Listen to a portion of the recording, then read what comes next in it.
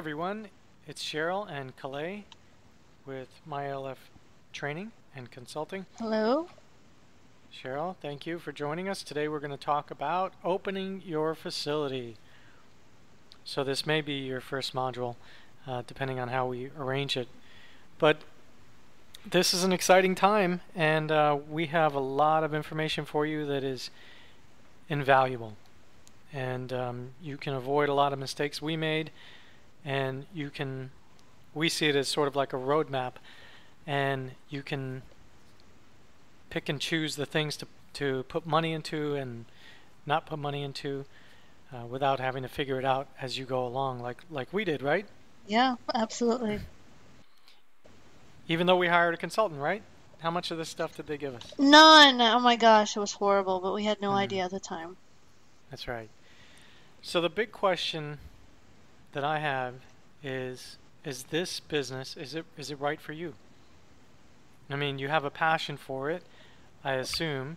Um, it's not just that you have a a property that you want to do something with. I mean, you have a passion to help seniors and um, you know, this is this is what you want to do and it's important that sh- that you have that passion because there'll be times when you won't be getting paid and there'll be times when you know you'll lose money but if you have that passion and the desire and you're doing the right thing it's going to be apparent to anybody who comes to visit your facility that you're doing this for all the right reasons.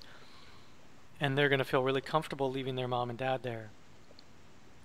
So is it right for you? Is this really a, a business that that you want to get into. Cheryl, would you say that this is just an easy business that you could just, oh, you could rent, fill up your house with six residents and go away on vacation like it's a rental property? No, oh my gosh, absolutely not. We we live, eat, and breathe our facility. Um, it's it's a lot of work, a lot of thought, and we're always thinking about our residents, even when we're at home. Um, it's it's difficult, but it's very rewarding. And it, would you say, the thing is, it's not like, you know, you you may get your place full and and you've got the perfect residence, and it really is a snapshot in time. I mean, from that point on, when you've got your perfect residence and you're full, it's like things are going to change. Things change every Short. day. it should be short-lived. One of those six residents or could could pass or end up in the hospital or move to another facility. Um, it's ever changing. So this business will definitely keep you busy mentally, physically, emotionally.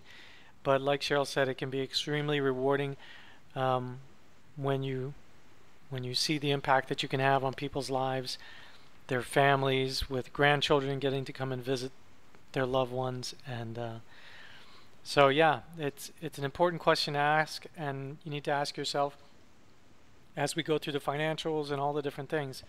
Um, are you going to be an involved owner? Are you going to be an owner operator? Um, it's not like, you know, a Subway franchise where you buy a Subway franchise in Miami and I live in Daytona Beach and it and it runs because I got.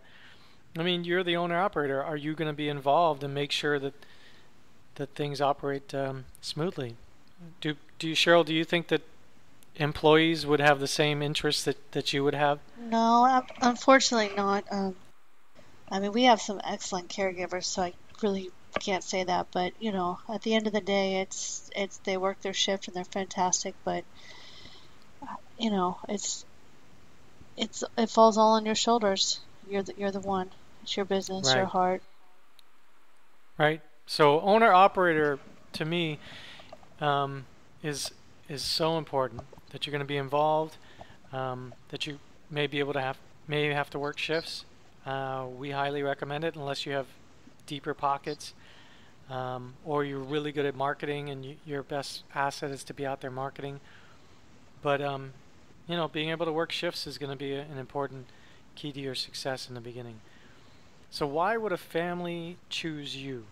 Um, we call it the unique selling proposition, USP. And what is it about your home, about you, that, that makes this special? And I think that you need to start thinking about that. Are you a nurse? Or are you a physical therapist? Or are you an administrator by trade? Um, whatever it is that you do. Are you a pharmacist?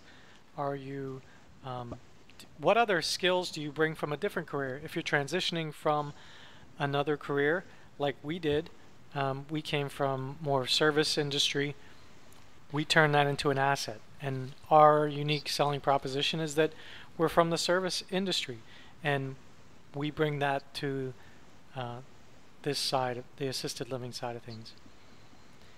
So, why would they choose you? What is unique about your business? And start to develop that story, develop that um, that pitch. They call it an elevator pitch, and it really means if I were to if we were in a big networking meeting and and you had 10 seconds to stand up and say something about your business, how would you be able to say it? What would you say that everybody in the room would say, "Wow, that place is special"? And you know, I'm we when we first opened, um, we went to a big networking meeting in town and new members got to stand up and say something. And luckily, um, I was I shaking. It. I was shaking inside, and I and I said, "Cheryl, will you do it?" And she said, "No problem." There must have been 200 people in the room, all in the industry. And uh, yeah, Cheryl, do you remember? Oh, I remember standing up, but I don't have a problem with public speaking, so it was. Uh, I don't remember what I said, but people wanted to come up and speak with us afterwards, so I did make some sort of an impact.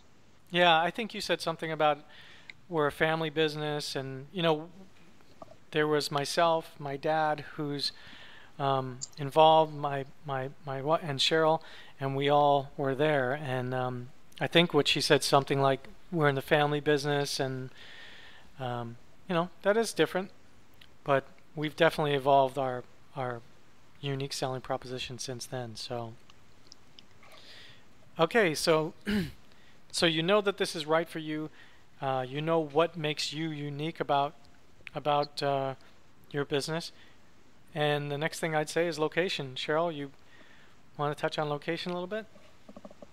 Um, when you're choosing your location, you want to make sure that you do not have another facility that is too close to your um, prospective facility, the one that you're going to um, hopefully open, um, the rule right now is a thousand feet away from another facility. That could change, um, but make sure that you're aware of who's around you. That's right now, opening. as of August 2014. Okay. Right. Um, but you know, definitely check in case they change the rules. Um, there are exceptions to the rules and stuff. You'll have to take that up with your city um, council members and um, licensing unit. Um, things that people don't realize is you don't always have to buy your house. You can rent a house. Um, it's up to your landlord, and I would suggest being very honest with them on what you're going to do. Uh, make sure that there's not an HOA in the neighborhood that would oppose to it or cause any delays or problems for you. And uh, Cheryl, can I just before mm-hmm. we, I just want to mention about the location the way you search for a location now, a thousand feet is not very big. It's about three football fields. So keep that in mind. But the way you would search is you go to AHCA's website, okay, and um, I'll I'll include it in the video um, later. But the way you do it is you go to AHCA's website, find a facility.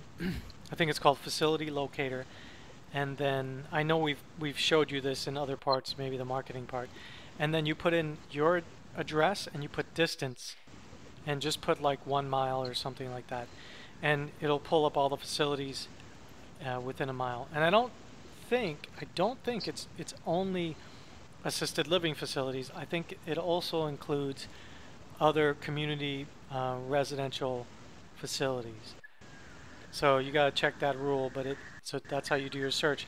Now one thing that's extremely important about this before we move on is that there may not be one right now, but if you you need to get your place licensed, and during that process, you don't know if somebody else within that vicinity um, is at the same point or further along in the process of applying. So you know, I definitely go down to the the building and zoning department, ask if anybody within a thousand feet of you has a, a gone in and get the, got their zoning form signed, uh, if they're aware of any other facilities um, that are in that application process. You can also call AHCA's uh, licensing department and ask them, say, I'm, I'm about to start the process and I've checked with my zoning department, but I want to know um, is there anything in process that is within a thousand feet? And the AHCA search may also have pending or in process uh, facilities as well, but depending on where, at, at what point uh, the process is going on. So once you make the commitment, you sign the lease or you start to purchase the property, you need to get that thing done. You need to get your application in. You need to have all your ducks in a row ASAP before somebody else does. Uh, but you also don't want to make mistakes on your application because enough, if you do it too many times, they can reject your application. So you want to make sure that you follow the checklist that they give. You do it all exactly the way they do it and um, make sure you get it before somebody else says. So go ahead, Cheryl. Sorry. Oh no. Rent versus buying. Yep. Yeah. Well, we talked about that. Um, you know, you don't always have to buy your place. Um, you know, buying's great. You own it. You probably have less expensive and less chances that you um, will get evicted or have to move out, or the landlord changes his or her mind. Um, the size of the facility, you want to consider that. Um, so, so many people call us daily, and they I'm gonna open a facility. I'm only going to license myself for four beds. If you have space for eight beds, nine beds, ten beds, why not? I mean, the the bigger the better. The staffing um, requirements don't change that much when you go up for more people, and you know, it's just a nice. It makes a nice community. If you have the space, I recommend going up high. But of course, those are things that your city you'll have to check with too. Some cities don't license. Um, what is Palm Bay Clay over five beds? Well, you know, a lot of it depends on the, um, yeah, the zoning, The zoning. department and the fire marshal. Um, usually, you can't have a place. Uh, you can't have more than eight people without fire sprinklers, according to the NFPA 101. But you know, ultimately, it's determined by the local fire uh, marshal and the zoning authority. So, about picking your location, Cheryl said, you know, bigger is better, and you that to me is more important than anything. I mean, location is important, right? Yes. And we'll get into mac- market saturation and not being around too many other facilities and understanding their vacancy rate and their pricing and, and different things like that. But the size of your house or your building is so important, and your ability to grow. Uh, for example, if you have the opportunity to get a three bedroom or a four bedroom, to me, there is no doubt in my mind that I would get a four bedroom. And if I had the opportunity to get a five bedroom, I wouldn't even think about it and I'd get the five bedroom unless it was like upstairs, downstairs type of situation or the property was a mess and needed all kind of renovations, then I might go with the four bedroom. But it is important and when you go into a property, look at ways that you can change it and maybe you don't need a uh, living room, family room, dining room. Maybe maybe the living room could become another bedroom. Um, things to keep in mind though: bedrooms can't go. You cannot get. You can have a. a I, I I have to have access to a bedroom without going through another bedroom. So you can't have like a railroad type of situation. Your bathrooms capacity, even though technically you're only required to have one bathroom, I think it is per six residents or whatever it is you can do that, but you won't get residents. And you could get a five bedroom house that are really, really, really, really small bedrooms or that aren't appealing and don't have windows or whatever it is. And that's great. You can have a five or six, but if if it's not appealing, you're not gonna a family's not gonna choose you unless you're just taking a thousand dollars a month for somebody. So picking the right property is it is a make or break. I mean it, it really is. And just because something is available and the landlord's willing to work with you as far as a rental or um, the only things to choose from for sale are these properties, then maybe you just need to wait. And a lot of times, as a, you know, you're excited. Right now, you're really excited and you want to open your place, and that's the only thing that you have on your mind. But you can't be blinded by it and say, "Oh well, um, this is not perfect, but it'll do." And when we get into the cost to start up and the cost to operate and all those things, you'll see the difference between that extra bedroom is dramatic. So, uh, bathrooms, separate entrances. I mentioned expansion. So I'll give you an example. I know of a facility, they started out as a five bed place, but they had the room, um, and it was it was in an area that wasn't like a, a homeowners association, like Sarah, Cheryl said, and um, they actually recently, after five, six, seven years, it might have been longer, they expanded it to 17. They had the space in the back, and they had the ability to increase zoning and change zoning. Um, so, can in your community, can the garages be converted to living space? That is a great question to ask your local zoning authority, because I'll tell you right now, garages are pretty much useless except for storage, right? Yep. Cheryl? Oh, but I went to one ALF, and that's where they had they had beds on the floor, and they had living staff sleeping there. It was atrocious, but Uh, oh gosh, don't do that, guys. You can get Don't trouble do that. DeMaca. But as far as garages, if they can be converted, if that's allowed in your area, in your city, then that makes that house a little bit more attractive. Um, so, does it have a den? If it has an office, you probably don't need an office. A lot of times, administr- people open a facility.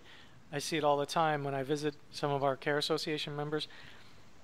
They have a living room, they have a family room, a dining room, an office, and they have their whole computer set up and a big fancy desk in their office. And I'm like, why do you have this office as a office? You have a, a four bedroom house, but this office could be your fifth bedroom. Well, I never thought about that. Where would I put my office? Put your office in the garage. That's what we did. Uh-huh. so, so you know, we put AC. We made it nice, and our office became our garage. And more, more times than not, the people that I, that did that, they were extremely happy that they did. Um, and it, it'll make a difference. For let's just use this example. Let's say you have a three-bedroom house, and you're going to get licensed for six residents. Okay, so if you have three-bedroom house, that means you can do two. Um, you could do two rooms would be shared, which means double occupancy, right? Two residents in one room, two residents in another, and then you have another room. Um, somebody wants a private room. Well, even though you're licensed for six, what are you going to turn away the person that wants the private room? So you have a you're at five. But if you had that office instead, you can use that other office and get to six, and you could have two private rooms and two shared rooms. It's a huge difference. Um, otherwise, all you can do to get to six is is um, uh, six shareds, and you're going to be a lot more limited in the type of people that you get and the amount of money that you can get when you're doing only shareds. Yeah, people like private rooms. We we don't have that many shared in the last, gosh, five or six years, have we? Mm-mm. No, really. I mean, people like their privacy. It's, it's just nice. Right. So, you know, four bedrooms is better than three, and five bedrooms is better than four, with the exception of upstairs, downstairs. So, you know, if you have a choice, I hope you do. Um, don't take the upstairs, downstairs, unless upstairs is just like a loft, and you're just going to use it as an office or something, office or something like that. That's that's fine. So, what is the um, the zoning? right? What is the zoning on the property? Is it a multifamily property? Is it commercial? Even better. Commercial, even better. Um, is there land, extra land? I think we talked about that. Distance to other facilities. And market saturation. Cheryl, you want to talk about doing a little market research? You did a little opposition research, didn't you? I did. I I went ahead and um, called facilities in our immediate area and inquired about their rates, um, what type of rooms they had, what services they provided, what was included in the rate, if they had different tiers or level of care service that they charged for. Um, and we even went and toured some of the places to get some ideas. Um, and then, uh, you know, a lot of times if you go to a larger community, they're very welcoming because they want to um, get referrals from you too. So um, a few places gladly showed us around, took us on the nice tour. Um, you know, you can also be sneaky And um, if you want, if you're calling smaller homes, they may not be as willing to give you information, so you may have to do a little bit of sneaky work and pretend like you're looking for your grandma for a place and get information that way too. Uh, but I do Yeah, recommend you, you check and see what everybody else is doing in your area. it's a must. You have to because if you're doing projections and you think you're going to get thirty-eight hundred dollars or four thousand dollars for a private bed, and um, in the area that you're going to open, people are struggling to get twenty-two hundred dollars or three thousand dollars, then you're being unrealistic and your projections are not accurate. And um, you know, when you do go call around, first of all, um, don't be rude and don't expect people to just volunteer and give you all kinds of free information. Um, you know, definitely have a good story. okay, don't, you know, uh, they're going to ask you who it's for, or what are their needs before they even give you prices. They're going to ask, like, tell me about your mom. Tell me about her. No, remember Um, that guy that came? All right. It was uh there was this guy that came, I don't know, he was maybe in his late 40s. I think at the most. He could could have been right around 50. N not too old, maybe even young 40s. And he knocked on the door and I you know, greeted him, "Hi, how are you? What what can I help you with?" He says, "Well, I'm looking for a place for my um I think he said his mom or something." I'm, he looks nervous to me and uh, he really couldn't look me in the eye. And just right away, I, I thought he was a spy. I just my my radar went off, and uh, so I started asking him some some questions. Um, well, what um, kind of needs does she have? And you know, he answered very vague, like "Oh, you know, just assisted living needs. And so I started probing him more and more with you know Alzheimer's, different kind of tough questions, and he just he folded right away. He said, "All right, I, I have to tell you the truth. Um, I, I I don't have a mom that needs assisted living. I want to open a place down the street. I just wanted to see what you did and get information on your facility. Um, so I, I shut him down right away. But uh, he, he just couldn't continue to lie to me. So um, it Yeah. was it was interesting. He continued to call us and Oh ask my us questions, and It's like go away. but you know you're going to get that, and because all these other facilities, especially the owner operators, I mean they're on guard as well. So, not saying you need to be nervous, but you you need to think it through before you before you call. So, you definitely need to get. I mean, it's just listen. They did it too. They should have done it, and um, it it's just part of the business. And so, but definitely, I would start by going to the larger communities, and um, they're going to welcome you with open arms and show you around. You'll get an idea of, of at least the larger community prices. Um, I don't think that you're going to be comparing yourself price wise to larger communities.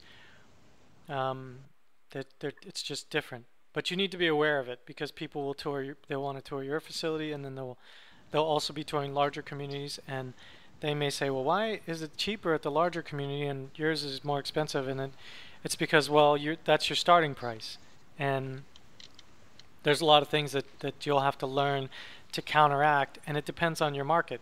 Um, you know, and and things change. A new facility may open up, like in our market, a new facility, 120 bed facility opened up, and it it put a huge hamper, um, a damper on our on our uh, move-ins. And Clay, remember their starting rates advertised? I think were eighteen hundred.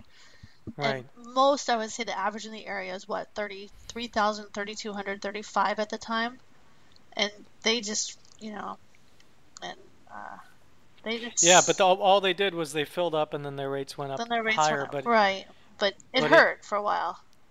Yeah, because we we would have people come in and we'd tell them our rates, which we think were reasonable, and um, you know they would say, "Wow, that's expensive," and and that happened literally overnight, where we people used to say that's affordable, and then then the next week people are saying, "Oh my God, that's so expensive," because you know they're they're price shopping and they're comparing us what they get here with this big community, and they get the transportation and they get the, bells and whistles, and I get my own apartment and Swimming what are you- pool. That's right. So you it's good research to do ahead of time and then you can also watch how other people do tours and explain things and talk about programs and it's good um, to do. And I definitely do it before you before you purchase a property, before you um, rent a property, or anything else. Okay, so um, prices, you'll understand the pricing in your market, and then you'll also understand the vacancies in your market. People won't always volunteer how many vacancies they have, but you can tell because, first of all, if you call a facility and you leave a message and they don't get back to you, and you leave a message and they don't get back to you, they're full. They're probably full or they're incompetent, but um, or if when you visit a facility, a large facility, they'll they'll probably say, "Well, I only have one room, or I only have one like this or one like that," and you know it varies. Vacancies vary, but if they're full, and um, that's a good indication that that your area has a, a lower vacancy rate. But don't you will have vacancies. So even if a place is full, um, I would just plan, and we'll talk about that in the um, financials section. But a vacancy rate is to be expected. Okay, so uh, let's get into some of the financials.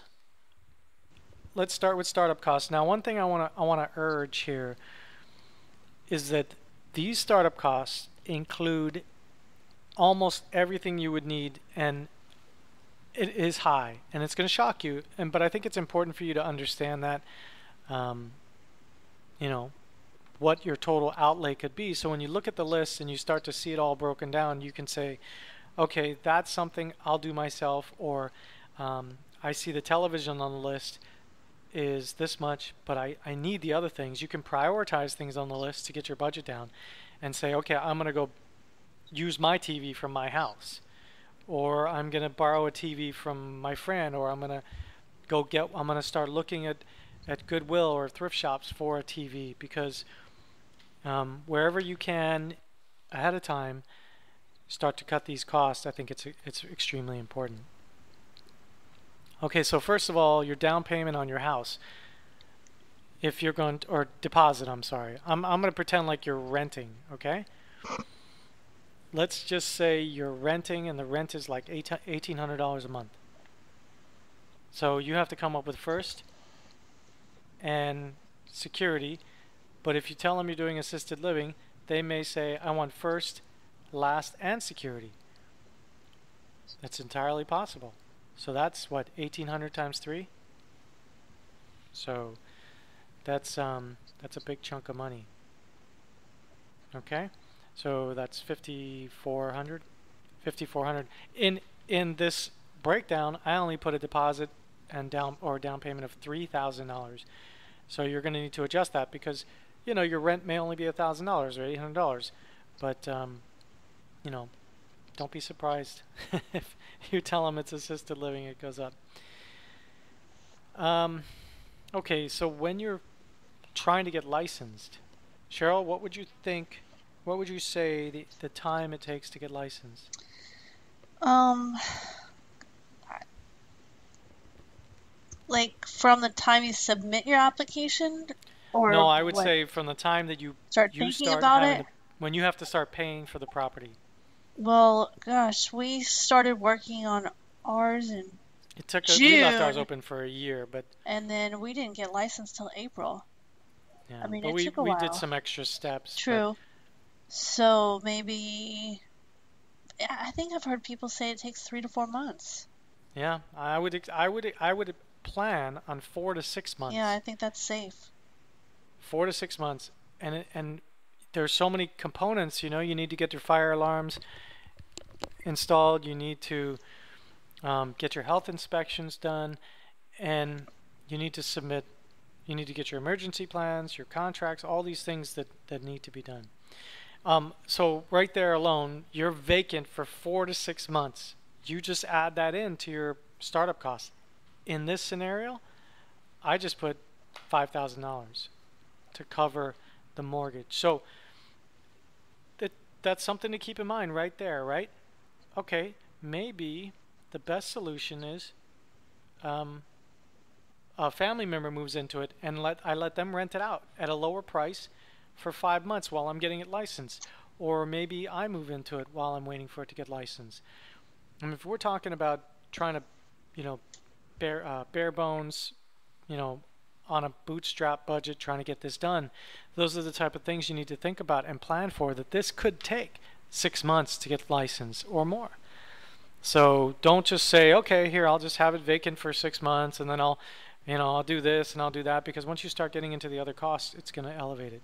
Okay, next. Does the place need any renovations? I didn't put any prices in here because you you could figure it out on your own. Does the place need paint? Do they have bathtubs? You don't have to take the bathtubs out of all of all of the property. I mean all of the bathrooms, but it's if It's you easier. can. oh my god. It will help your staff. It will help on your tours when people walk in. I can't tell you how many times people say, "Oh, look, they have no t- bathtub." Actually, almost And, um, everybody asks. If they don't ask and they, they say something when they see it, Clay. That's right. You know, it's a big issue. They they know how how would my mom or dad step into a bathtub. And in fact, sometimes that's one of the reasons why they're moving mom or dad from the house because it's got stairs, because it's got a bathtub, because it's got a step in shower, because it's got whatever it is, it's got a sunken living room. So I'm not, you know, you if you're renting, the landlord is probably not going to let you take the bathtubs out. No, So that's not. just something to keep in mind. I mean, you could ask. You could say, "Hey, I'm going to renovate your bathroom, but I'm going to make a shower," and you never know. You never know. Um, but does it need painting? Bathrooms removed? Does it need bathroom renovations? I mean, you can't have a place that's ugly or not in good repair because you won't get people. I mean, it's just it's just the way it is. Does it have bad flooring? Does it have dirty carpet? Do you need to put tile? Do you need to put uh, change the floors out? Those are things you need to consider when you're considering one property or another renovations. Does the kitchen need to be renovated? Um, you know, a dirty kitchen, an old kitchen is not good. Does does it need landscaping? And I think I might have included landscaping further on down in the budget, but whatever property you get, I would do landscaping. If you can do it yourself, that's great. Buy some nice plants, make the outside look really great. I think that's extremely important. Um, a patio or out, or outdoor access. The the rules and regulations require you to provide um, access to the outdoors. Uh, it's not just access; it's supposed to be easy access to the outdoors. Um, doesn't mean you leave everything unlocked, but a screened patio with, with a locked doors is easy access to the outdoors. Um, so, does it have a patio? Does the patio need re- renovation? Does it need a new screen? If there's no screen patio, I mean, is there is there does it need a fence around the backyard? Uh, those are things to consider. Next, we go into anything on that, Cheryl. No. Okay, advertising and marketing. Um, you're going to have to buy business cards. So we use a company called GotPrint. I think I covered it in the um, marketing and advertising basics section. So we use a company called called GotPrint. I think you can get a thousand business cards for fifty dollars or something like that. Um, and then there's a company online that you can use that it's in the marketing section about business cards to design it. Brochures, GotPrint, hundred dollars for a thousand or maybe not thousand, maybe five hundred.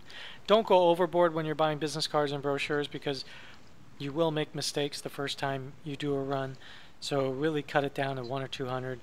Uh, keep it low, and then the next time you reor- reorder, I know you're going to want to make changes. Your website, um, personally, I mean, I know you need a website, so don't skimp on a website, but don't go call some company and have them want to charge you a thousand dollars or five thousand dollars. If you know, to me, you shouldn't spend more than five hundred dollars on a website, if even that. And um, so ads, ads are something you cannot technically start running ads until um, you're licensed. Okay, so But you'll see people doing it. you will see people doing it, but it doesn't mean you can't have a have it budgeted because the minute you get licensed, right, you get your license back in the mail is the minute you're going to be you already have a, an advertising campaign and you already know what you're going to do to get the word out there. But like I say in the marketing section, you know, you can't just do one ad and expect people to come banging down your door unless you're given assisted living for a thousand dollars. Um, networking meetings, uh, membership dues. There will be costs to joining these memberships, so you need to budget for that. That's something you can start right away. Definitely, definitely, definitely find all the local networking meetings and sign up for all of them and go to them all every month.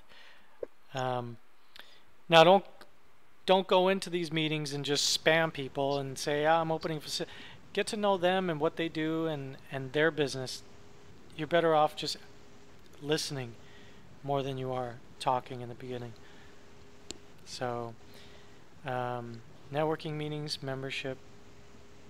Now, the next thing we got to consider is, um, oh, I think I skipped over signs. Making some signs is a really good thing. So, little um, corrugated plastic signs that you can have printed, maybe $50 a sign or less. They even have them at Office Depot. Um, blank ones that you can write on there or get an open house sign and but write assisted living. I covered that in the marketing. But these signs, you can put them out, um, you know, before you open, coming soon, assisted living. And then as soon as you open, that definitely the side's gonna, sign's going to go in the yard while you're there, open house, assisted living open house type of thing. So signs, we budget about $100 for those. Um, entertainment. So you'll need televisions, uh, DVD players, television $800, DVD players $60, games, puzzles, magazines uh, $150.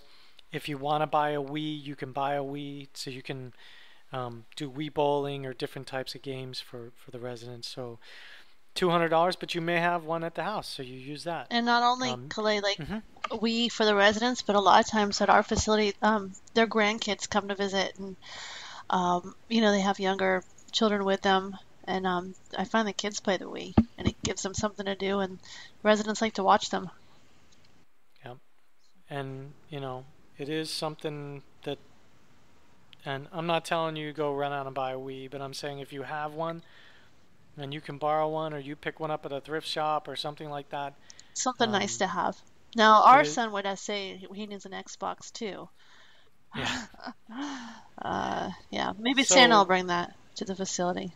That's right. Um, a music player. Oh, and also our staff, their their kids come and play games as well. So that's always nice to have the staff's kids. They get to come and hang out for a little bit. But the, um, another thing is some sort of music player, maybe a Bluetooth music player that you pick up at uh, Be uh, Best Buy for a hundred bucks that ties in with your iPhone, or something simple that you can play music for some of the activities that you're going to be doing, like if you did some sort of chair exercise program or uh, something to play during special events. Uh, movies, you can buy some movies. I put fifty dollars in here uh, you could definitely start looking at Ross. I know we did that. We started looking for, you know, cheap movies there, old time movies on sale at Ross or TJ Maxx or stuff like that.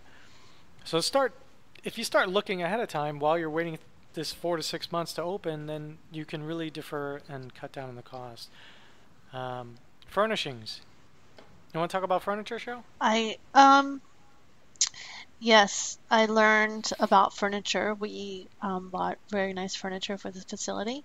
Uh, we bought cloth furniture to start, and that was really a bad idea and a waste of money. Um, think about it all the people that are coming and going through your facility, the couches get dirty. Um, sometimes residents soil them or they'll spill drinks, um, even children that are visiting, and they just really didn't weather well in that kind of environment. So we upgraded our furniture to um, leather. You don't necessarily have to get leather. They have other alternatives that are leather-like that are very durable, and that's what I would recommend. It's just you know you don't want your facilities to smell of urine, and let's face it, um, you know they do have accidents sometimes or leaks, and it would get into the fabric, and it's just not a good thing. So. Yeah, and you don't want to put plastic over your furniture. No, that doesn't look it's not good. nice. it's just it, does, it doesn't appeal to people when you're doing a tour, and so, you know, think about what the they want to live in. That's that's always how they exactly. look at it. They always say, oh, wow, this place, when they come to our place, this is nicer than my own house. I want to live here. So you have to really appeal to the decision makers too. Right. And so uh, some people may go and buy their furniture from a thrift store or just throw some pieces together. But, you know, when you go to a, a home builder's model home, that's not what they do. They put their money in the staging of the home. They make it look like I mean it's a model home, right? So you you're doing tours. You you need to have it looking really good. And I'm not saying buy the nicest furniture, but try to buy a set of some sort that go together and match and um, like Cheryl said, synthetic leather over regular leather. Another thing to consider is that don't get a couch or something that is too deep when you sit in it, if it's too soft and you sink too far down, when you have people who need to be able to stand up, it's so much harder for them to stand up from a, a sunken position. So maybe something a little bit more firm, that's a little bit more elevated, that isn't isn't as hard for them to get to a standing position would be ideal. Well, you know, in Florida we have like um, rooms to go. I think that's all over the state, and they have really good package prices. I think you get a leather-like package for a thousand dollars. So it's worth and it. you can finance it, yeah, right? you can finance it.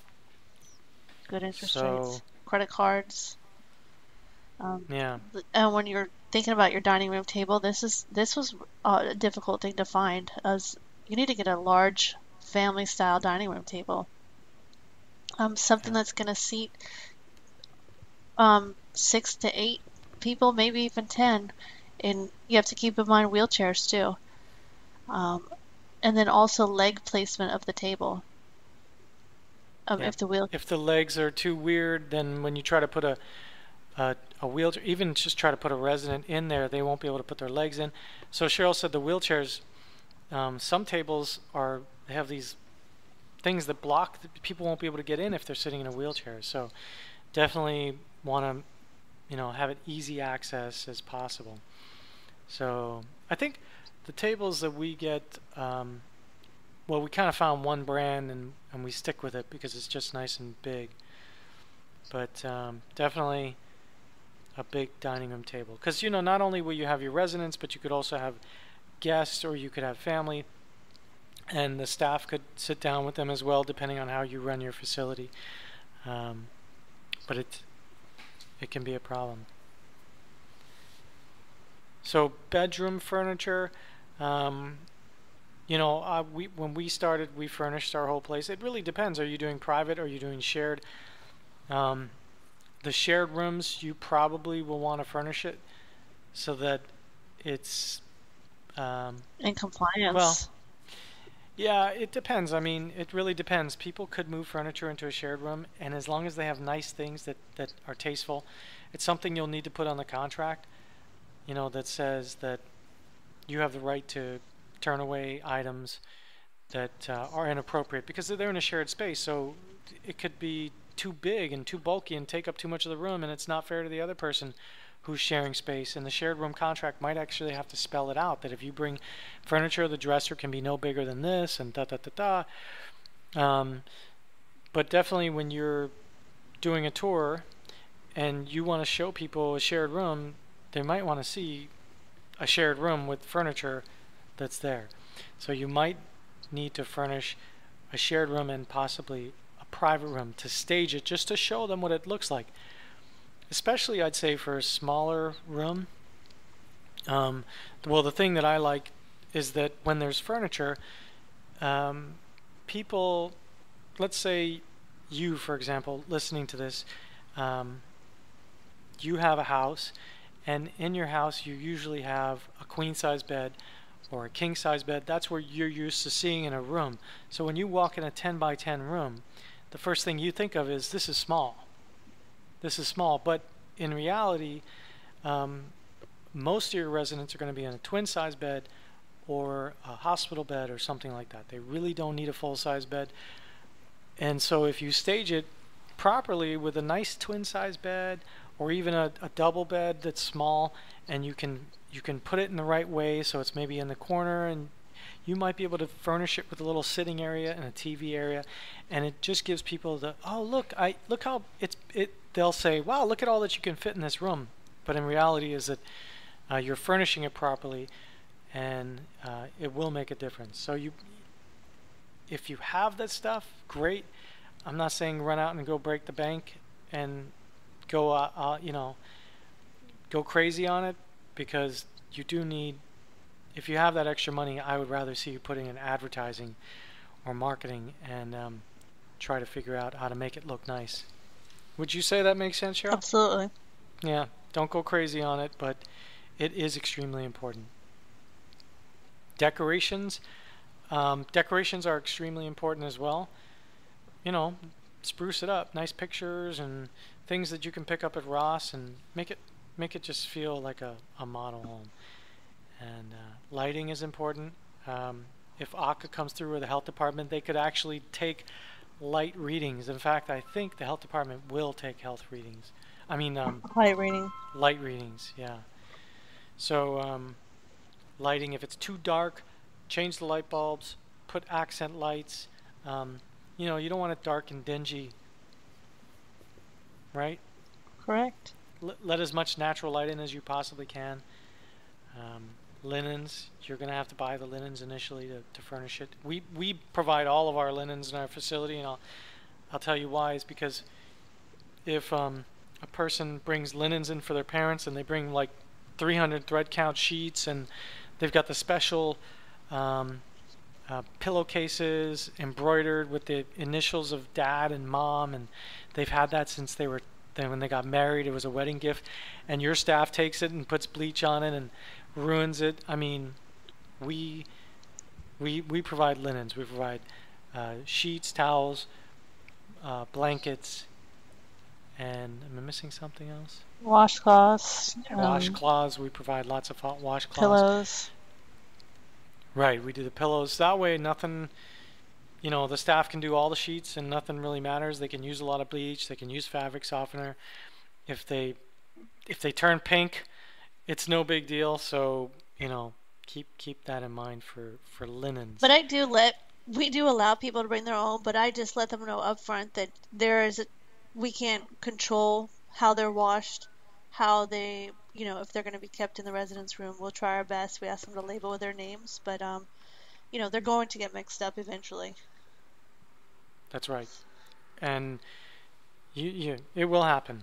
So um, so uh, bath accessories, um, we always ask our residents to bring. That's something that we don't provide. Um, we provide soap, and we have shampoo and stuff. We have hand soap. Um, but if you have any, people have any specialty lotions or any, we don't do any of that. But so the families bring that. But you'll need accessories. You'll need plungers. You'll need, uh, you know, scrub brushes. You'll need um, hand towel holders because if it's a shared bathroom, so let's say you have a three bedroom house and two bathrooms. One of the bathrooms is in the master bedroom, and the other bathroom is shared by four other residents, right? Because you have a six bed facility, then that bathroom cannot have just a regular cloth towel to clean the hands. Uh, every health department is different, but I'm I can guarantee you when the health department comes through, that's one of the things they're going to look and make sure that you have a paper towel dispenser to dry your hands um, AHCA will look for that bathrooms. too. Hmm? AHCA, AHCA will yep. as well, right? Okay. So, uh, so bathroom accessories you're gonna need. We put that in here at 200 bucks. Linens $500. Lighting $100. Decorations $500. Private uh, bedroom bedroom furniture $1,000. Dining room. You're seeing these numbers as we talk, and it's um, it's gonna add up. So cleaning supplies you're gonna need. I don't know why that's in furnish furnishings, but $200 cleaning supplies, well, you need patio furniture. I talked about you need a nice, appealing outdoor space. It is extremely important. Outdoor access, patio furniture. Do you need it's a patio fan? Too. It is required. Um, okay, kitchen. Do do you need a new refrigerator? Is the one that you have dirty? Is it broken down? Is it ugly? Do you do you have a good washer and dryer? Um, do you need to, you know, sometimes rentals don't come with washer and dryer. Um, I definitely get used appliances for me. I mean, that's we found a good used guy and he repairs them and things like that. You're gonna need to buy food. Um, that won't come until you probably get your first resident, but you can start buying things ahead of time. Condiments, salt, pepper, you, you know how those things just add up extremely fast. So start to think about that. Um, pots, pans, dishes. Maybe you have extra pots and pans. Maybe you can pick some up at Walmart or Target. Um, but you know, wherever you can find them at a discount, pots and pans, you you could definitely get those at a, at a uh, Salvation Army or Goodwill or something like that, and try to be frugal in as many places. A microwave oven, a coffee maker, toasters, silverware, cooking tools, glassware, dishes. Uh, except for the glassware dishes, you know, I definitely would, would try to find nice dishware. Um, a lot of t- light yep, dishware yep. too. Light, yes. not heavy, not heavy plates. Not yeah, smaller cups, cups yeah. plastic, small plastic cups are good for uh, glassware, something that somebody can wrap their hand around. Um, so the the light plates are important, and um, nothing too crazy with colors. I, I don't think that's good not either. For, Distraction. Not for your Alzheimer's residents. Yeah, you want something a little bit more plain and soothing, and I think it makes the food more appealing when the it's not as much going on. The food is the, uh, the highlight, but but you know a lot of you got to realize that that most of the time your family family members are going to be visiting their mom or dad or loved one at mealtime because that's after work, that's before work, that's lunch breaks. So when they come and visit, they're so make it look nice. You know, have centerpieces, have tablecloths, have nice um, napkins. Um, make it really appealing because that's one thing that you're going to get a lot of complaints on, even if your food is good, right, Cheryl? Yes, yes, yes. you're going to get complaints on food, and um, you know, if the family's there and they see like, wow, look at the look at these meals, they're beautiful. I wish I could eat like this, and it's and it's amazing. That goes a long way to giving them comfort when they leave. That that my mom, even though she complains, I know that she's being provided for really well. So you know, try to avoid all the processed, prepackaged, you know, fake foods. Try to try to uh, try to do things from scratch. You know, like that's one of the that's one of your your unique selling propositions. And I know we're talking about food and and and and and we're not talking about, but it is part of opening a facility and understanding, um, you know, what's important. So from scratch, no TV dinners. Um, I understand that sometimes chicken pot pies and frozen lasagna is good, but you can still dress it up, have a beautiful salad. You can have other side veggies uh, nice dessert. Right, Cheryl? Yeah. But, you know, our residents personally, they prefer canned vegetables over fresh. So, I mean, you know, it's totally not ruled out. Just um, find out what the residents like and try to serve nice whole foods. Right, right. Okay. Okay, so that's kitchen supplies, just things to keep in mind. Um, now, fire, health, and safety these are things that you're going to need with regard to that. Um, I will start off by saying in our area, now every fire marshal is different, right? When you when you when you first thing you're going to do is you're going to print out the application and get the checklist and understand everything that you're going to need to open your facility. And in core training, you know, we go through the whole checklist with you. But one of those things is you got to get a fire alarm what the fire alarm is, what what components make up the fire alarm. Uh, do you need sprinklers? Do you need the smoke detectors hardwired? Uh, do you need them tied into the fire alarm panel so that when the smoke alarm goes off, they're notifying the fire department? Do they want uh, what decibel of the alarm is um, is required? What the strobe lights?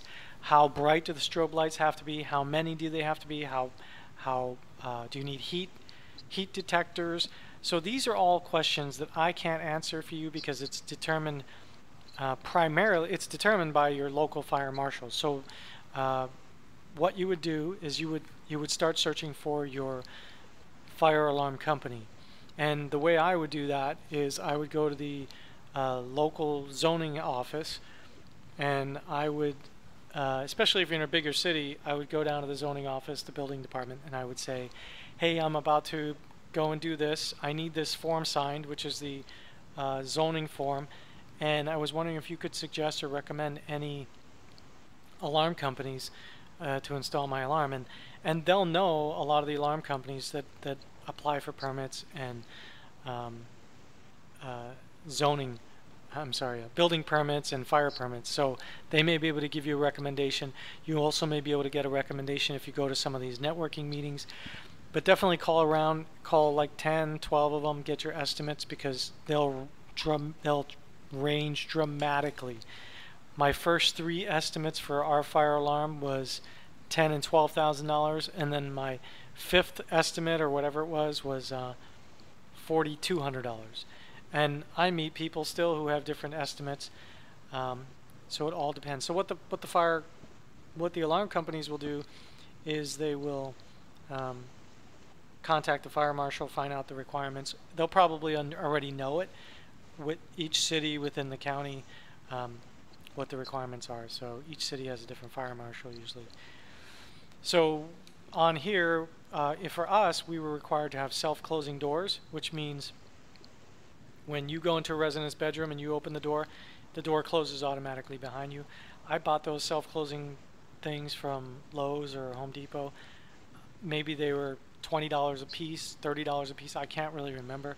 So I did just put on here $50 just in case um, you needed better ones. Fire alarm system, 400 $4,500. Could be much more depending if you need a, um, a sprinkler system. So sprinkler systems can be $10,000. They can be expensive. Now we ha also had to remove um, normal construction of houses only require uh, a hollow door. So if you tap on your door, you can hear if it's hollow. A lot of times the fire marshal will require you to put in solid core doors, usually three quarter doors. And those are solid wood. And, and the reason for that is if there's a fire in, say, the kitchen, the solid core door has a a time rating that it will take two hours to burn through that door before it gets to the bedroom. So there may be an, uh, an elderly person in the bedroom, and because you have a solid core door, it's it's a, a barrier to that fire spreading quickly through through the house and uh, getting to that person gives them time to get people get the people. And the self-closing door mechanism is why um, that's important as well. So self-closing doors, door solid core doors. Uh, each solid core door can cost up to two hundred dollars uh, just for the door. So you need to consider it being installed as well. So if you have a, and they're bedroom doors. So if you have a three bedroom house, you probably or might need three solid core doors. Now don't go run out and buy these before you find out what the requirements are. Um, but don't be surprised if they tell you these are the things that you need. Solid core doors, self-closing uh, mechanisms. Another thing the health department is going to request is a double sink. Um, so one is for hand washing and one is for dishes. And you'll have to label the two, hand washing and dishes. So your sink can't just be a single sink, but you could also have um, a, a sink put in the garage. I personally would recommend that splurge money on that and put a sink in the garage as well. If you can fit it between the um, washer and dryer, that'd be great. So your staff can clean out mop buckets and things like that. Um, it is something that the health department will look for. So I'm just going to put in here $200 for the double sink. Maybe you have one already, um, but you, you'll need to get it installed as well. So think about that. Now grab bars, AHCA will require grab bars. Whether or not they, they look uh, is one thing, but you know you're going to want to put grab bars in the bathrooms. So you need one behind the toilet, one next to the toilet. Um, one in two in the shower. So I estimate four grab bars per bathroom. The grab bars range. The smaller ones are about $25 at Lowe's or Home Depot. And then the large long ones are probably $50. Prices change all the time. I'm always surprised how much things change. But um, so I estimate that if you have two bathrooms, which I hope you have three, but if you have two, um, estimate $500 for grab bars and they can just be screwed into the tile and but so uh, shower chairs Um, I put on here $150 for that'd be like $75 for two shower chairs. That's if you went out and bought them retail. Estate sales, Goodwill, uh, Salvation Armies, those places, no problem. Garage sales, buying shower chairs for five dollars. If somebody passed away, nobody wants their shower chair. It's just garbage. And after you open and you have a few residents, you're just going to start collecting these things anyway, and you'll get better ones just because people leave them with you. Um, but initially, you may need some. Uh, but you could also run out and get them when people move in. But it is an expense that we put on here. Commodes. Um, commodes are something that people could have when they come to you, but it's a good idea to have one uh, to put over the toilet that kind of raises the seat up a little bit. And um, you may need to put a commode in someone's bathroom, in someone's bedroom. Uh, I hope that if you do that, you don't have carpet because the chairs are wobbly and they will tape over and they will spill on your carpet and it's uh, it's not pretty. So commodes, plan on, on getting a couple if you can pick them up at the same yard sale or or Goodwills. Um, should be something you can get inexpensive. They make a, higher quality commode that's a little more sturdy. It's like uh, steel rather than aluminum, and um, they're heavier and sturdier and wider. So you'll want to make sure that the legs all work so they adjust higher and lower. Make sure your commode comes with the bucket. If it doesn't come with a bucket, then you know maybe you can order one on Amazon. Um, a wheelchair is something good to have. I have a house wheelchair. It was one that, would, that we picked up along the way, but um, somebody may move into your facility and not need it, but then all of a sudden has a bad week. Maybe they have a urinary tract infection and they can't walk. Your staff just needs to go run and get a wheelchair. So, do I don't go run out and buy a $500 wheelchair or anything like that, but keep it in mind as you're going out in the public, meeting with people. If you look, see something on Craigslist, you know, go pick it up for ten dollars if you can. Did I miss something there, Cheryl? No, not at all. Okay. Um, bed rails is another thing. Keep in mind, don't go run out and buy it. Uh, you can also make them with PVC piping. Get the thicker PVC piping. Uh, don't get the cheap one and make like an L shape that sticks under the mattress. Just something that's helpful. Those are not the most sturdy things though. Um, so keep in mind they do sell bed rails that you can put under a, mattress between the box spring and it's not something you need right away, but it's it is something that you don't want to have to go run out and buy because they really can be expensive, uh, full retail. Um, wheelchair ramps, we we ran out and bought a whole bunch of wheelchair ramps. Um, for each, we we bought one for the entrances, we bought one for the patios. Um, it may be something depending on the, the height of your step or, or whatever it is that you want. But I can tell you that wheelchair ramps uh, were really uh, they were they were harder to navigate for our residents, and when they started going down the wheelchair ramps, they had they were falling. I mean, they're basically leaning forward. They're in a falling position, so it doesn't help. Getting somebody up over a little step with a wheelchair is no problem. It's actually easier than using a wheelchair ramp, and the wheelchair ramps uh, it it scares the residents and it makes them panic. And in my opinion, it's just my opinion. It's not legal advice. It's nothing like that. I'm just telling you that we removed all of our wheelchair ramps. So um, I put it on here as in a cost potential depending on your situation.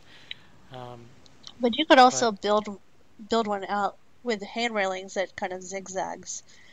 You know, that mimics like a hotel or something. It yeah, depends exactly. on your space, but um, you know, that that would but that's an expense. Yeah, you need to go and get check with your zoning, um, your zoning, your building and zoning because they may they may even make you put in wheelchair ramps. And and you know what? You're not going to win an argument with them. So it everything that I'm saying it depends also on your local zoning and building department and fire marshal and health department. At, they may make you um, put in wheelchair ramps. They make make you widen doorways. They may make make it ADA compliant. Like for example, um, yeah, removing the bathtubs. They may make you they make may make you do all kinds of things, and you know you really can't fight it because they're the position of authority, and um, you might just have to do it. So some things that we don't know until you go and visit them and say, "This is what I want to do." Um, smoke detectors. Uh, if your smoke detectors are all working and they're in good order, that's great. But one thing that they may require you to do is to hardwire them, and what that means is um, if one smoke detector goes off, all of the smoke detectors go off. And uh, also, what it means is that if the if the batteries fail, they're hardwired. They have electrical going to them. Um, but that's something that your um, your alarm guys could find out. Uh, I wouldn't. I wouldn't. It wouldn't be a bad idea just to give you this advice. Go talk to your your fire marshal or the person that does the permitting for the fire alarms, and ask them what their requirements are before you talk to the fire alarm companies because the fire alarm companies may be telling you you need hardwired uh, smoke detectors and you need this and you need that and you need you need sprinklers and you need all this other stuff but that may not be true that may be true in another city that they've dealt with and they're just assuming that that's the way it's going to be and so unless you know what the real requirements are you may just be taking this person's advice um, and they're ripping you off so definitely uh, I think I said call the fire alarm company first before but definitely now that I think about it, I would contact the city and um, and and find out what the requirements are. That way, you can get a, a real a good estimate. Um, I we use a call system. We use a wireless call system uh, called um, it's called the wireless caregiver, and it's got these little wireless call buttons, and all the residents have it. They have wireless um, motion detectors. I'll do a video on it or I'll include a video on it in the training. But um, the um, call system, it's about $250 and it includes the call buttons, motion detectors, a little paging device. You know, uh, you can get little bells as well. It, it depends, but people will ask you about that.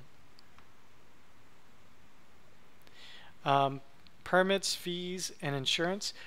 So you're going to um, need to file your corporate filings if you form an LLC or C corporation or uh, whatever you file, however you do it, whatever you form, however you form your company. Um, you may have corporate filing fees. So that's something to keep in mind. It may not be $500. You may be able to do it all yourself. I did it all myself in the state of Florida and I just paid the filing fee and some different things, but it still costs about $100, $150. Uh, financial form preparation. This is something that I would definitely consider going to your CPA and having them fill out. The financial form is included as a check on your um, application checklist. The uh, most applications get sent back because of this financial forms, and most applications get denied because of the financial form not be, being filled out properly. So um, definitely take it to your accountant and have your accountant fill it out unless you think you are good at, at doing that stuff. I had our CPA do it because guess what? Ours got rejected the first time too. And um, I, I talked to another facility owner the other day. They were opening their second facility and their application was approved except for the financial forms preparation and and the forms um, she already had it done previously and got one facility open, but it's not an easy thing to do. And Cheryl, do you want to touch on that just briefly? The financial forms.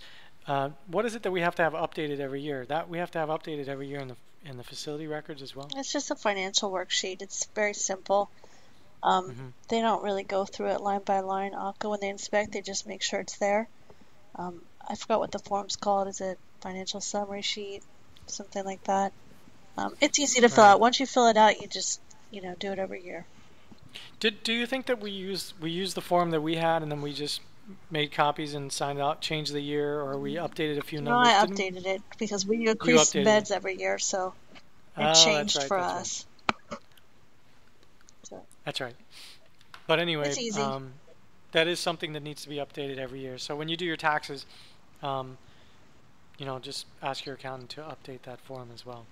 Uh, but anyway, I have that at $200. Application fees, when you submit your application, you pay per bed, and then you pay for specialty licenses. So if you have a LNS license or ECC license, an LMH license, I don't know if there's any fees associated with LMH right now, but um, they charge you per bed, and they charge you so.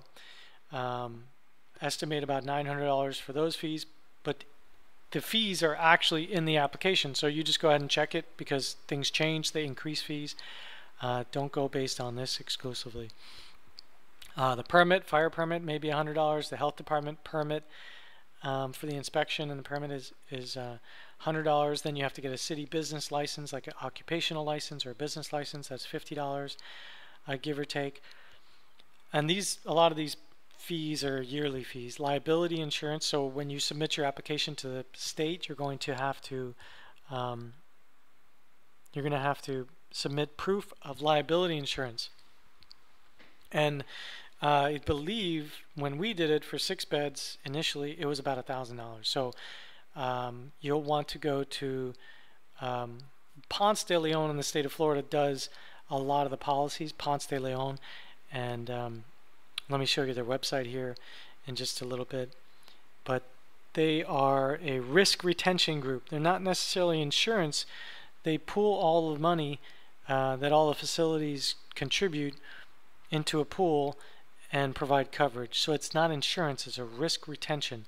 And you might want to check with your insurance broker or somebody else to find uh, a different alternative. But in, but liability insurance for an assisted living facility can be extremely, extremely expensive. And that's, um, they, just some background, the state of Florida passed a, a residence bill of rights, which you, you, learned in core training that there's a residence bill of rights. Once they passed the bill of rights, a lot of the insurance companies pulled out of the state of Florida. And um, so if you, if you try to get liability insurance, uh, you may get quotes like I did for a six bed facility to be uh, $10,000 a year for a six bed place, $10,000 a year. Um, the risk retention group, which has got thousands of facilities, um, was $1,000 a month. But it's, you know, you got to look at the coverage. Is it right for you? I don't know. I mean, it may only be $25,000 per incident, up to $100,000. Um, and then it, it may not cover, cover medication errors and different things like that. So, uh, depending on your coverage that you elect is what your policy will be. But you'll need liability insurance and you're going to need to come up with it out of pocket up in advance. And then you get the liability proof and um, submit it to the state. I think once you do it for a year, the next year they will let you um, do some sort of payment plan. And um, like I, I don't know what our insurance is now. It might be like five thousand dollars. Cheryl Cheryl pays it, but anyway, and um, we do a deposit and then we finance the rest just because we don't want to pay for it all up front. But anyway, so liability insurance. Then you have um, then you have um, office supplies, filing cabinets. Now your files they must be stored in a locked filing cabinet. The filing cabinet doesn't have to lock, but it, it has to be locked somewhere behind in a room that can be locked. So if it's in an office that can be locked or something like that. But anyway, filing cabinets, um, office chairs. So when you meet, when you meet with families, uh, you want to give them some nice chairs to sit on. Your office is an important component, although for the first four years we were in business, I literally met families in my garage I painted the floor. It was a garage. There's washer and dryers. Um, so, you know, don't think that you need to have this fancy office. Does it make a difference? Of course it does. But, you know, we survive by uh, just operating in a garage. And I told the people when I met them, I said, listen, I said, this is a garage. I said, we don't put our money in the garage, in our office. You know, we put our money um, where it counts in the care and it, it was just always the thing I told families, and they thought it always made sense. So, um, but you can get nice chairs. You will have to get chairs for them to sit in, for you to sit in, for for sales reps that come to sit in. Uh, you'll need a desk. Don't go crazy on the desk. Uh, computer, you'll need a computer. Um, you'll need a monitor, you'll need a printer, a fax machine. So all of these expenses are listed here. Computer $500, printer, uh, fax machine $300. You know, I got a laser printer, black and white. I didn't get color. Um, you may want a color. Now they sell laser color printers that are pretty reasonable. And um, if you don't use a lot of the color and you print in black and white, then you're not going to you're not going to be paying for all the color. But um, ink costs for for those are very expensive. Definitely want to buy your your printer ink online. I think I buy them on Amazon, and they're used cartridges, so they're not the um, they're compatible. They're compatible. So I'll give you an example. My printer ink for my monochrome, which is black and white, uh, laser printer at Office Depot was $90. I bought the same cartridge or a compatible cartridge online for $20. So I would buy uh, buy them in packs of five or whatever. So the shipping was free and I didn't have to reorder it all the time. But you will print a lot of stuff. Um, you'll be printing marketing material, or printing, printing contracts, be printing a lot of stuff. So keep that in mind. Don't don't buy an inkjet printer. I think uh, you'll re you'll regret it. Office supplies, you know, miscellaneous things, uh, folders. You'll need binders for sure. You'll need those binders uh, to build your resident files. Um, I don't, you know, the resident file itself, you can get smaller binders. Um, and the medication books, you you know, just depends. It depends on um, how big your storage is, uh, how many drawers you have. So if you have a very small storage space for binders, don't get big binders. Get smaller binders. Um, you'll need you'll need folders. You'll need uh, paper clips, staplers, hole punchers. You know those type of things. You need to start thinking about them ahead of time, um, so you can try to buy them uh, inexpensively. You'll need a phone right? You'll need a, a cordless phone for sure for the house, um, so that when the resident gets a phone call, you can take the phone to the to them. If you can get one that's good for hearing impaired or a good speakerphone button on it, I think is extremely important. Definitely want to have two handsets. One, um, two handsets are important. If the phone is not easily accessible by the resident, uh, you will get cited for it. If if the resident cannot reach the phone or if they have to come and um, if if they hide the if you cannot you cannot have the phone hidden it's got to be visible it's got to be easy for a resident to be able to pick up. Uh, that is something that AHCA will come and look for. Um, so you definitely want to have something cordless phones easy but you'll need an office phone as well something in the office that'll ring. Um, keep that in mind medication storage cabinet you'll need a medication storage cabinet it could be part of your filing cabinet, whatever it is, but this medication has to be able to be locked, central storage, and um, so I think we picked something up at Target that we put a latch on and we have a lock. I'll include a picture of it in our uh, in our uh, video here. So that totals the um, the startup costs. Slightly so it is extremely intimidating. And so I, I, I, let me show you the cost. I flipped over to a different sheet here that totals it. And um, something to keep in mind, all those things, you know, you're going to have to change the numbers. This, this is a, um, a worksheet in Excel. So whatever number you change, we'll, we'll change the total at the bottom for you, okay?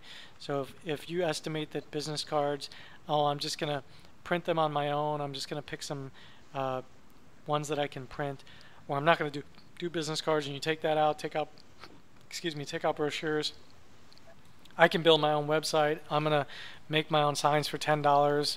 Um, however, you change it, it'll change the total numbers. Um, so like, let's add the double sink. I think I said two hundred dollars. Okay.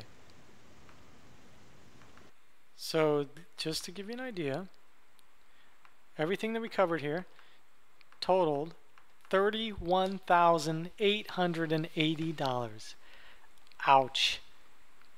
I bet you didn't expect to see that. $31,880. And the reason why we put so many things in here and we put in the prices that we did is we need you to understand that these are the numbers you're going to be working with. And so before you start your facility or before you um, quit your job or before you do any of that stuff, you need to understand do I have the budget for it? Uh, where can I cut out? What do I need to cut out? What can't I cut out? Right? And maybe if I have to wait a year and maybe I have to wait six months and I have to save more money uh, because I want to do it right, then then that's what you need to do. Do I think you can do it for less than 31,800? Absolutely. I mean, a big number in there that we talked about alone was the um, the rent. That was 5,000, right? Furniture. Furniture alone is I mean, if I went all the way down in furniture, furniture alone is $5,000. So if you are able to figure out a way to get your place but keep it rented for five months while you're going through the process and um, you just save $10,000. What about kitchen supplies? Well, if you could provide all your own kitchen supplies, there's $3,000 you take out of the oh, startup costs. What about the fire stuff and all that stuff you need to keep in there? corporate filing things you need, but how about our office furniture? Probably save another $1,600. So there are ways you can do it and you can bootstrap. And I hope that you're handy or your husband's handy or your cousin's handy and can help you paint and remodel and add landscaping and doing these different things. Um, you know, I didn't include a, an amount for landscaping, but I, I definitely would, you know, put $500 in there for plants if you can plant them yourself, I think it will go a long way. Especially the front and then the outdoor access um, is what people see.